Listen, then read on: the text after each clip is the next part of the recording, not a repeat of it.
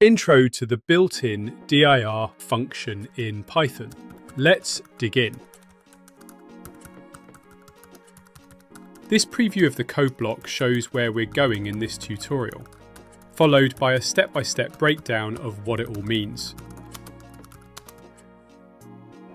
After watching, you'll be able to explain what the dir function is, learn how to inspect class members, explore local namespace and will know when to use this function and when not to. The dir function returns a list of names, attributes and methods of an object, or names in the current scope when no argument is given.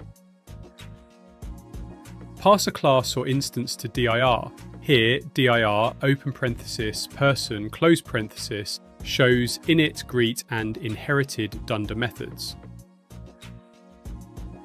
Call the dir function with no arguments to list your current variables and imported names in REPL or a script. Finally, dir is perfect for REPL exploration or debugging, but avoid relying on it in production. Its output is not guaranteed stable across different versions of Python. This has been an intro to the built-in dir function in Python.